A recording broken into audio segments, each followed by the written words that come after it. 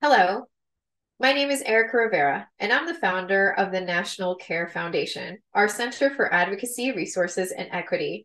I cannot wait to be a part of the Returning Youth Initiative's Women's Empowerment Roundtable, where I'm going to discuss my story on survival and how sexual violence is a public health issue, and how women in our community can pull together in order to pave a way, a path for prevention.